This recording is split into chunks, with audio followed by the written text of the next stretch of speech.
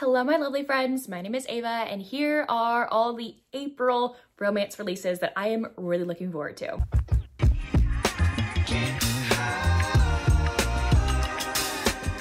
I read a lot of different things when it comes to the romance genre. I feel like I go here and there and everywhere in like subgenres of romance. So you're always gonna have like a wide variety on my list. So just like be aware of that. Um, but I'm really excited. I have an extensive list filled with new authors, returning authors, authors I love. So let's get into this. First, I have Viktor at Sea by Layla Knight. This one comes out on April 1st, so the first of the month. This is apparently a historically inaccurate, sexy pirate romance. And uh, there's no synopsis up yet, but I just put it on my list because pirate romance.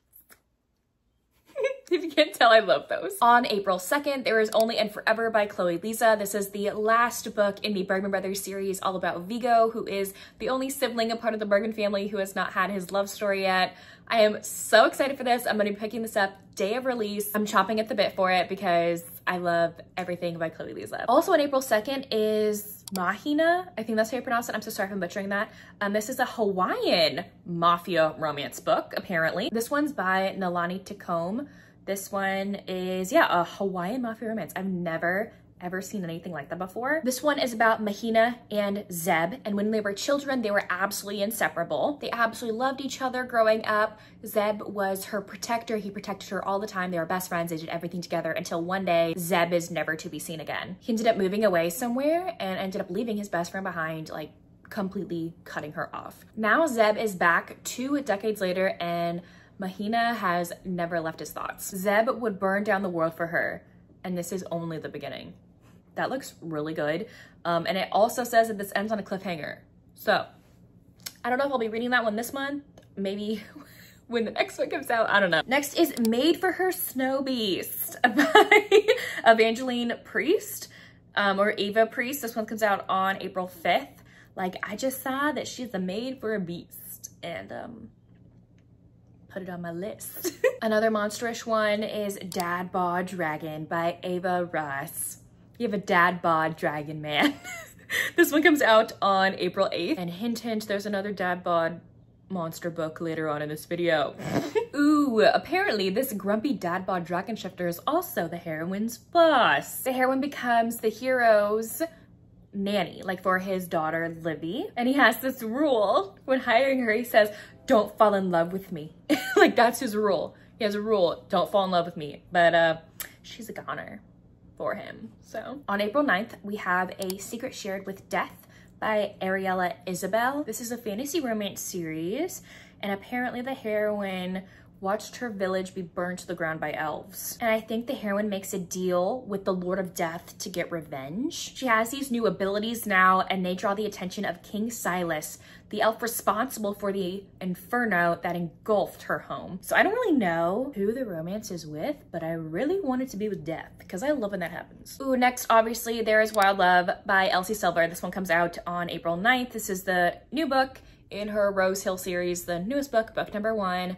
I don't know what this is about, don't want to know what it's about, but it's a new Elsie Silver book, which is always a grand old time. This one looked so good. Okay, this one is called The Prospects by KT Hoffman. This one comes out on April 9th. And I think both of these heroes are on the same baseball team and they fall for each other.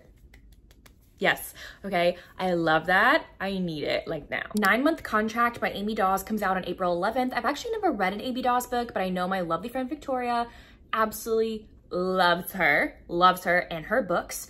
And this one has something to do with pregnancy. So I was like, sold. The hero is a grumpy mountain man seeking a baby mama. and I think uh, they obviously get into this nine month contract that turns into something more. I'm excited. I feel like out of all the Amy Daws books that I've heard of, this one intrigues me the most. Next is Serpents of Sky and Flame by Rebecca F. Kenney. I have read I think one or two books by her. She writes awesome fantasy romances. This one comes out on April 13th and it's the first book in a new series called the Merciless Dragons series. I love this tagline. It says, Dragon captures Maiden.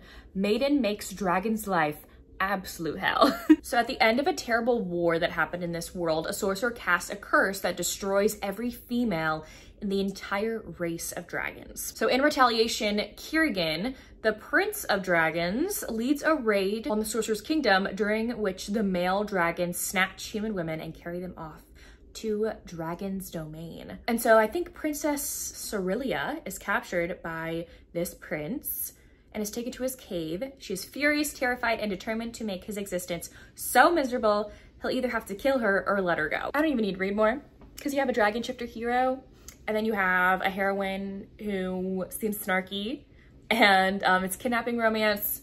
Say less. I really look forward to this one. On April 15th, we have Dad Bod Ogre by Linnea Lee. I think our heroine is like traipsing around the woods and comes across our hero of some sort.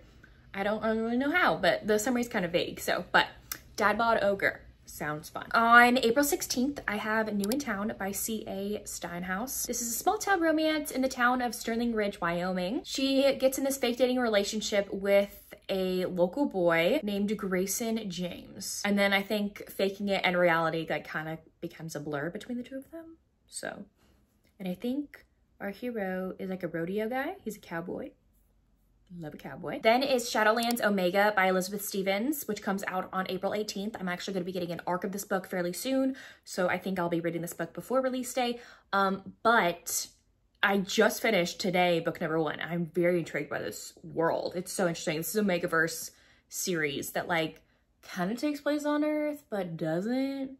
I feel like it's Earth, but like futuristic, but also a fantasy world. It's like a weird combination, but it's actually really intriguing. So I don't know what this book is about. I don't want to know. I just finished book one today, so I don't really want to damage my thoughts on book number one yet because I haven't even written my review yet. So on April 23rd, we have a new Mia Sheridan book. This is Falling for Gage. So Gage ends up across um, a gorgeous cocktail waitress one night in town. Oh, no, a town three hours away. And then she shows up weeks later in his hometown and she's pretending to be an art appraiser. Gage is completely blindsided, not to mention still very attracted to the apparent a little liar. He can't figure out, not her angle nor the persistent pull between them. So looks like Aurora is our heroine and she is determined to find her father. All she knows is that he lives in this small town called Calliope. And I think she's like covering up her identity or trying to like sleuth around and try and find him. And Gage just happens to be there and she's worried that he's gonna blow her cover. On April 24th, we have Wed to the Basilisk by Layla Faye. A Layla Faye book is always gonna be on this list. so Monster Romance, Layla Faye about a basilisk, say less. On April 25th, I have Burnout by Rebecca Jenshak, Rebecca Jenshak's newest book. This is about, I think, a motocross racer and a gymnast, which I love gymnast romances. I love also when sports romances are between two people who play a sport. Like, I feel like it's really rare. So I love when that happens. This one looked so cute. This is called Lucy Loves Him Not by Rebecca Jo Jackson. This one comes out on April 30th. Our heroine Lucy is a kindergarten teacher, but now it's time for the summer and she can't wait for her summer tradition of running the Sweet River Summer Festival. But this summer, the new city manager, Adam, throws a major wrench in Lucy's tradition and seems set on ruining her perfectly set plans.